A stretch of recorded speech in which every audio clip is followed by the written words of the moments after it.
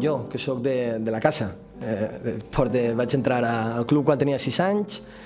he fet totes les categories de jugador, les he fet totes d'entrenador, i avui, evidentment, un dia especial perquè el meu primer dia com a, com a primer entrenador en el càrrec, pues me la portaré de, de per vida, perquè sé lo, lo especial que ha sigut els dies que en la fonteta estava aixina o que jo era el que estava en, en la grada fent soroll picant a terra quan Swinson feia un mate. Per mi és un dia, no fa falta que ho comente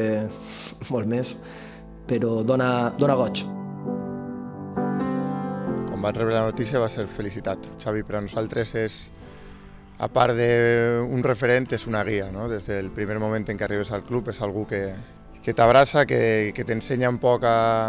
els seus valors i, i com ell viu el bàsquet i, i per a tots nosaltres és, va ser un moment d'alegria per ell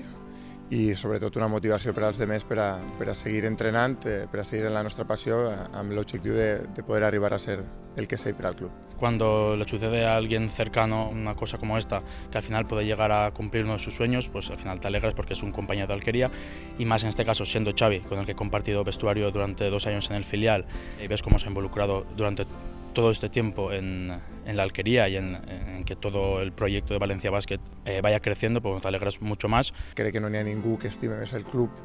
eh, d'una manera tan natural com ho fa Xavi. Siempre intenta ver el, el, lado positivo de las circunstancias y él merecía esta oportunidad porque siempre ha sido eh, un entrenador y una persona muy ambiciosa, muy perseverante y sobre todo que después de tantos años en, en la cantera estaba perfectamente preparado para, para este reto.